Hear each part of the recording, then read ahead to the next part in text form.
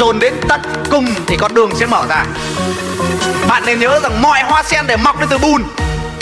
Cho nên khi bạn bị đẩy xuống bùn, tức là bạn sắp thành hoa sen rồi đó. Đầy người đến vũng lầy đó và đau khổ, đến vũng lầy đó và quằn quại, đến vũng lầy đó và bắt đầu đổi thừa cho số phận. Không ai ngoài bản thân mình cả. Cho dù cuộc đời có khó khăn đến mấy đi chăng nữa thì cũng vẫn quyết tâm phải làm cho được. Ngay cả lúc tâm tối nhất vẫn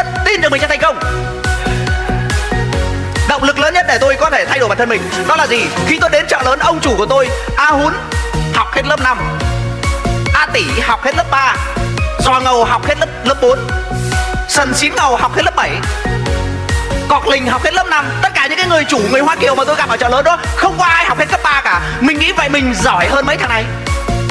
Nó còn làm chủ tịch của một công ty hàng trăm công nhân. Mẹ cái thằng học lớp 3 làm được mắc mớ gì mình không làm được. Và tôi cứ nghĩ rằng uh, a hún làm được thì tôi cũng làm được.